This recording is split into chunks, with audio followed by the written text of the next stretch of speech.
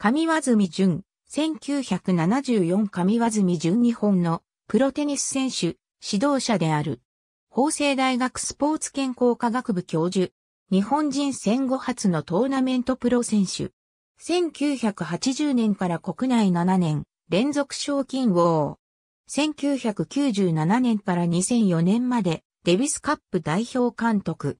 1973年全米オープンで3回戦に進出。これは西堀圭が2008年に進出するまで日本人男子最後の全米3回戦進出であった。石川県鹿島郡中野都町出身、東京育ち。全日本チャンピオンであった両親の影響から中学1年でソフトテニスを始める。法政大学第二高校進学後公式に転校し、1965年全国高等学校総合体育大会テニス競技大会完全優勝と全日本ジュニアテニス選手権単幅優勝を飾る。世界ジュニアテニス選手権にも出場し、サンシャインカップ団体3位にも貢献した。法政大学ではインカレシングルス3連勝を果たし、1967年、東京ユニバーシアードシングルス銀メダル、1970年、トリノユニバーシアードでは、ダブルス金メダルを獲得する。1965年には、デビスカップ初選出。1968年の全豪選手権で、グランドスラム初出場。卒業後、住友系金属工業に入社。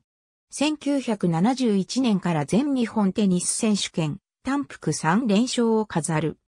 また、同年の全仏オープンのダブルスでは、坂井と素人のペアで4回戦に進出。1973年、日本人では戦後初のトーナメントプロ第1号となる。この年 WCT 年間最多34大会、出場、全米オープンのシングルスで3回戦進出。1974年、当時世界トップクラスのスタン・スミスを全仏オープンと全米プロテニス選手権で2度破る。1980年に日本でプロオープン化承認されると、国内の7大会のシングルスに優勝し、7年連続賞金王となる。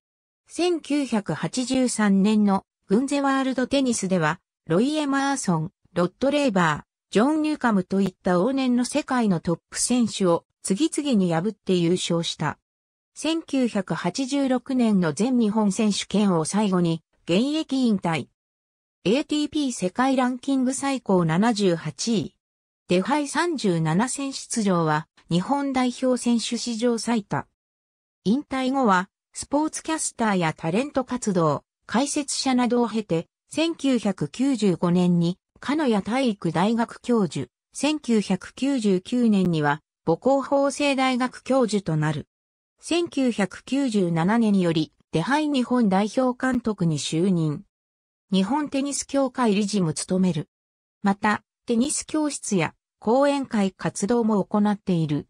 おいとめいにプロボーラーの佐藤秀樹と佐藤正美兄弟がいる。上和住姓は日本で一軒しかなく、上和住の五代前の先祖が居住地を上和住と名付け、現在も能登町には上和住という集落が存在する。ありがとうございます。